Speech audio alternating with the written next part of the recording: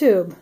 Lady Liberty Stacker back with one of my uh, trademark after the unboxing uh, pickups.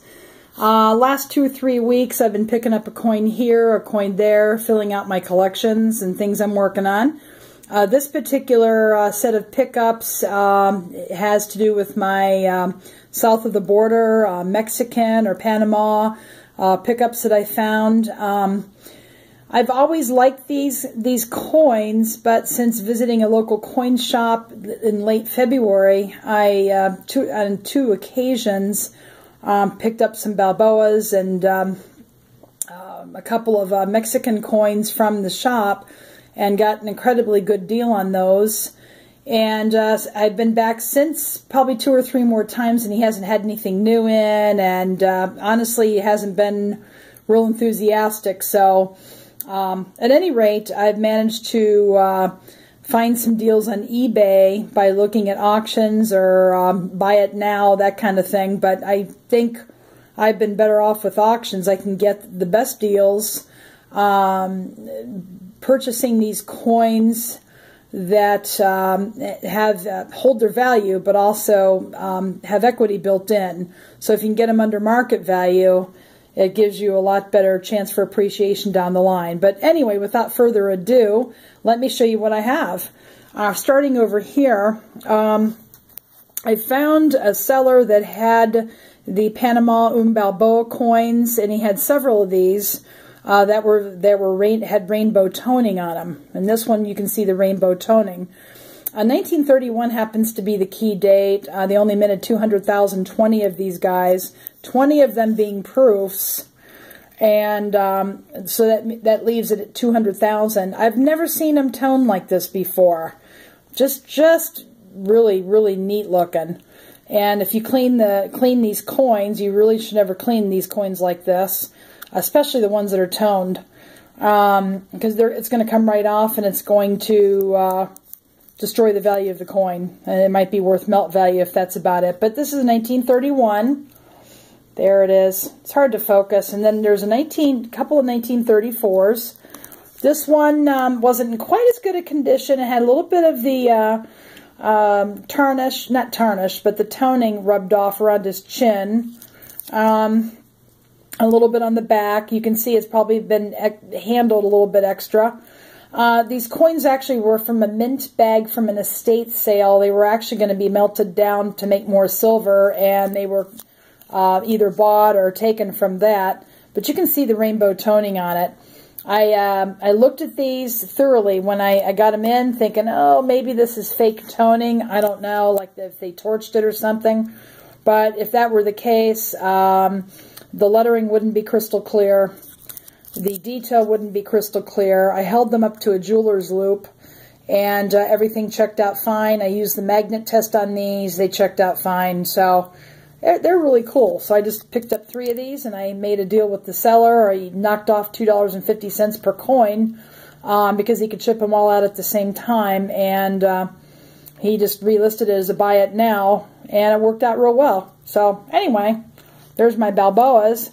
And while we're on the subject of Balboas, I picked up another um, Balboa from eBay, and the guy even threw in a uh, 1954 quarter as a way of saying thank you. This guy had his Balboa proof marked down from $69 all the way down to 37 He threw in a quarter. I thought it was kind of a nice gesture. Um, he had it all packaged up and taped up. I put it in an airtight. Came in a baggie but I put it in an airtight. This is a 1966 Un Balboa. Beautiful. They, they uh, made some proofs from 66 to 74, and this has a mintage of 13,000, the second lowest. I think the lowest was 1972 at 10,000 um, coins. They didn't have anything for currency. These are just proofs. And this is in, in excellent condition. I think the seller just wanted to unload um, his inventory and this kind of stuff. I don't know, but he had it reduced. Um, and and the and the reverse of this coin is the uh, traditional coat of arms. They took away the Lady Liberty uh, on the back, but this is still just magnificent. It says Republica de Panama. It is 90% silver. It's 0.7734 troy ounces. It's the same um, weight and purity and fineness as the uh, original bullion currency. Beautiful coin. So they had another one um, listed at the same time for $89. So this one, I got some built-in equity. So I'm going to go ahead and put it over here um, with my Balboas. Uh, the next coin I found was a um, 1947 Mexico 5 peso coin in excellent shape. This was an auction. I bid at the, uh, kind of put a bid in at the last minute. I saw it while watching TV last Saturday night. And uh, I put it in this 2x2 flip. But uh, it was in excellent shape. 1947. It had a lower mintage than the 1948. Um, it weighs 30 grams. It's 40 millimeter. Um, it has more silver than a silver dollar. This is a really, really cool coin, and I did not have one. I have another one on order. I wish it were in for this video, but it appears to be in similar condition. Um, but 0.868 uh, troy ounces of 90% silver, or 90% in the coin, 0.868 troy ounces of silver. And then on the back is the coat of arms. This is just a magnificent piece, one of my favorites now. So here it is, uh, the 1947 Mexico 5 peso coin. And then I found another uh, 1950 uh, Mexico Cinco peso Southern Railroad coin. This one is in uncirculated, brilliant uncirculated condition. Not a gem BU, but it's in excellent shape. I just picked this up.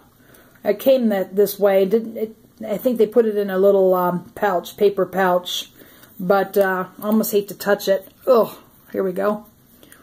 And then there is the uh, uh, verse with the coat of arms, Cinco Peso, the mint mark, 1950. And they minted 100, 200,000 of these, but half of them were melted down to make the 1968 Mexican uh, Olympic commemorative coin. And of the remaining 100,000, I think 50,000 were held back for something else. So there's, I think there's only like 50,000 of these coins out there. That's very low, very low considering um, it's a bullion type coin. But there it is. And the other coin I had just uh, picked up earlier in the week, I put it into an airtight. And um, there it is. And both I had got both of those for about $50. They're not Gem BUs, um, but they're uncirculated. And uh, fairly, this one's in excellent condition too. Look at that. There's a scratch there below the uh, purity of the silver. But other than that, it's just in fabulous conditions. I wanted to show that again. And um, I got to find a, a 2x2 for this coin here. Now, the next coins I uh, picked up, a Scottsdale had an auction for the Onza a commemorative coin that they minted between 1978 and 1980. The 1980 coins were the most uh, uh, minted. They had over 6 million of them. My camera's not focusing. It's the balance scale Onza coins. And this one is, uh, anyway, most common, in excellent shape. A little bit better than APMEX that I, I purchased, had purchased 10 from. But I bid on these. They had a bunch of auctions. So I have uh, four 1980. And then I like the 1979. They minted 4 million of those, but even rarer uh, of the 4 million, you have a 1979. And this one, both of these here are actually a type 4, meaning the scale points between the U and the N, and the, uh, the una hangs lower than a typical coin. So that's um, an excellent shape. And then the lettering on the uh, obverse with the year, year, Casa de Moneda de Mexico, the lettering is all very closely spaced together in this coin. So I thought that was extremely interested. I wanted, this is what I wanted when I originally bought from APMEX. I got all 1980s, and they were in okay shape. Again, here's another 1979 I ordered by itself. I picked this up for about 28 bucks. And uh, there you can see uh, the left side of the scale is pointing between the U and the N. And that is the Type 4 1979 gorgeous coin, gorgeous shape. I just really, really love these. They're excellent. They're sterling silver, 0.925, so you don't have to worry about uh, as gentle handling as 0.999 silver. And then this is, again, the 1980, and you can see the scale points right at the U. And then if you flip it over on the obverse, uh, the lettering is actually close together on this one too. There's one of them that lettering is not. Now I also managed to find the 1978. The mintage on these guys was only 280,000, much rarer than either the 79 or the 1980. And this one, you can see the spacing of the letters on the obverse is, is much further spaced apart. And then, of course, you flip it over, and you have this left part of the scale pointing to the U. But this 1978 was in phenomenal condition, and I picked it up all by itself. So there we have it. So anyway, the difference, here's a 79 on the right, 78 on the left. Let's see if I can show you the, the difference. See where the scale is pointing? The scale is pointing to the U on the left, and between the U and the N on the right with the 1979. They call those a Type 4. So it's really cool. I, I like to go after things that are a little rare. Uh, it takes a little bit of effort to find them, a little bit of patience to find them. Uh, but these are my Mexican pickups. Like I said, I was expecting uh, another um, 1947 Me Mexico 5 peso coin, and also a lot of two more 1979s. Uh, one was a Type 1 and the other was a Type 4, but it's not here yet. Um, but I wanted to go ahead and make this because I have other things coming and I wouldn't have a chance to make this video. Um, sorry about the length, but I just wanted to explain about some of the coins. And that one is one of my favorites right there. And then I, I love them all, really. But anyway, any questions you guys have, if you want to like, comment, uh, subscribe to my channel, please do. Or if you have any questions, uh, please fire away. If you're new watching this, I would love to help you. Um, I've been at this six months, but I really feel I'm starting to get it under my belt now. And i am really grateful for all the help I've gotten along the way as well. So anyway, thanks guys for watching and have a wonderful day.